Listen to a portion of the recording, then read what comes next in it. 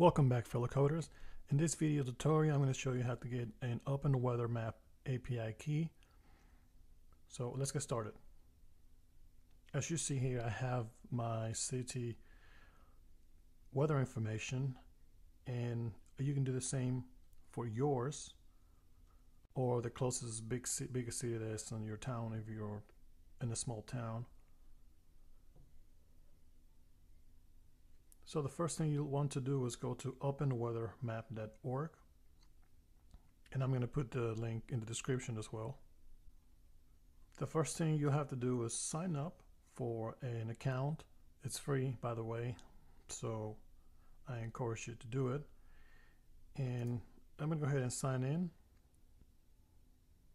and for some reason there's a weird bug in this website when you're already signed in it doesn't look like you're signed in, but then you sign in, you get this alert. But anyways,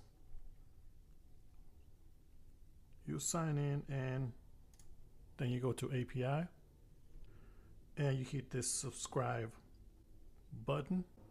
And it's going to give you a bunch of options here free startup developer and so on depending on what you're doing and how many calls you're going to be getting on your application. Um, but for our tutorial we're going to use the free version so you click get API key and start and it's going to take around 10 minutes or so for your key to actually be active in the system. So just keep that in mind. Once you click this button, you can go back to the Oh, sorry, you can go back to your account and under API keys, your API key will be there. Now I'm going to blur mine, but yours should be there. And that's it for this tutorial. In the next tutorial, we're actually going to test this in the browser to make sure that we are receiving data. If you like the video, hit the thumbs up and subscribe. Remember to code with a purpose, and thank you for watching.